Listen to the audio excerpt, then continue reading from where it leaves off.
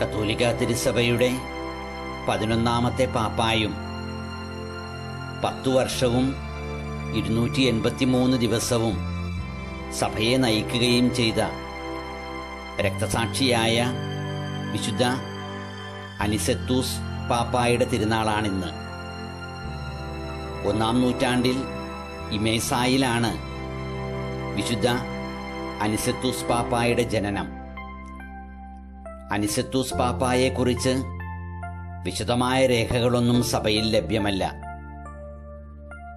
Pius ഒന്നാമന് ശേഷം പതിനൊന്നാമത്തെ പാപ്പായായിട്ടാണ് അനിസത്യൂസ് പാപ്പ സഭാ നേതൃത്വത്തിലെത്തുന്നത് എ ഡി ആയിരത്തി അൻപത്തി അഞ്ച് ജൂലൈ പതിനൊന്നിനായിരുന്നു അത്.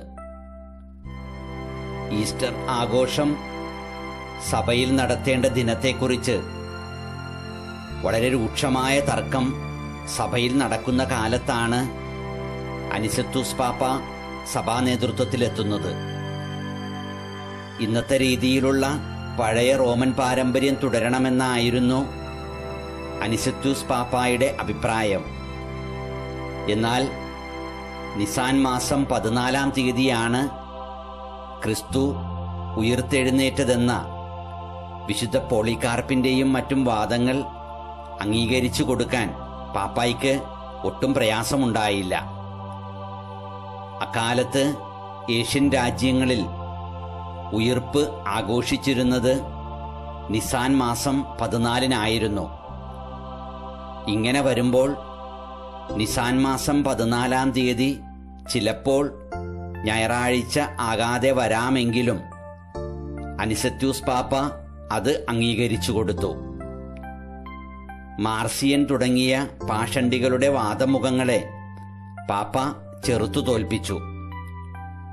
ഗോളിലെ മെത്രാന്മാർ മൂർദാവിലെ മുടി വടിക്കണമെന്ന നിർദ്ദേശം വെച്ചത് അനിസത്തൂസ് പാപ്പായാണ്. അനിസത്തൂസ് പാപ്പ രക്തസാക്ഷിയായി എന്നാണ് സഭാവിശ്വാസം. എ ഡി നൂറ്റി അറുപത്തിയാറ് ഏപ്രിൽ ഇരുപതിനായിരുന്നു ഈ രക്തസാക്ഷിത്വം. വിശുദ്ധ പത്രോസ് മുതൽ ഫ്രാൻസിസ് പാപ്പ വരെയുള്ള ഇരുന്നൂറ്റി അറുപത്തിയാറ് പാപ്പാമാരിൽ എൺപത് പാപ്പാമാർ വിശുദ്ധരെന്ന് നാമകരണം ചെയ്യപ്പെട്ടിട്ടുള്ളവരാണ്. ലിബേരിയൂസ് പാപ്പ വരെയുള്ള ആദ്യത്തെ മുപ്പത്തിയാറ് പാപ്പാമാരും വിശുദ്ധരാണ്. പാപ്പാമാരുടെ പരിശുദ്ധത തിരുസഭയുടെ വിശുദ്ധിക്ക് എക്കാലവും തെളിവായിട്ടുമുണ്ട്.